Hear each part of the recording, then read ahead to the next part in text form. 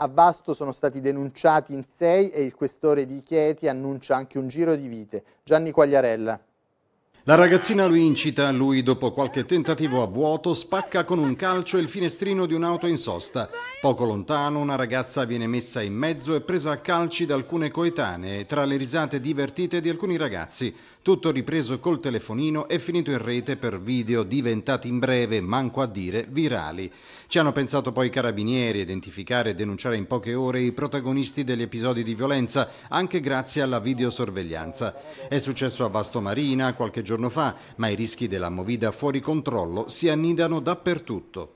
È giusto non parlare tanto del dove, ma più del, del come intervenire, sicuramente gli esercenti cercheranno di fare la loro, la loro, la loro parte, ma non, da soli sicuramente non saranno in grado di risolvere un problema che è di carattere sociale, che va risolto all'interno delle famiglie, del, dei punti educativi della nostra società. E c'è pure la violenza sulle cose. Vandalizzata e riparata a tempo di record la cornice di Mirella del Negro dedicata a Franco Battiato. Ci si mette la faccia per la fotoricordo con vista sul monumento alla Bagnante. Per non dire delle vetrate, delle balaustre sul vicino lungomare Cordella, l'ideale per il tiro al bersaglio. Il risveglio della movida, che spesso si fa corrida, non sorprende le autorità di polizia. Non c'è da scherzare, il daspo rafforzato Willy lascia il segno sui facinorosi, niente sconti, promette il questore ho iniziato ad adottare, eh, senza sconti a nessuno, eh, DASPO urbani o cosiddetti DASPO Willy eh, in, a carico di soggetti che si sono particolarmente resi responsabili di gravi fatti.